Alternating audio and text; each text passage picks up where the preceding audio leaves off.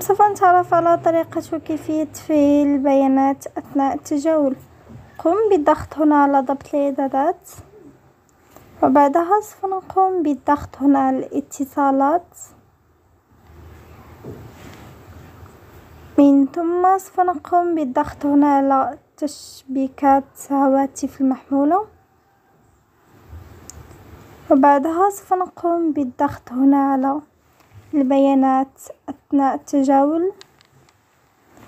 وهكذا نكون قد قمنا بتفعيل البيانات أثناء التجاول. وهكذا نكون قد قمنا بحل المشكلة.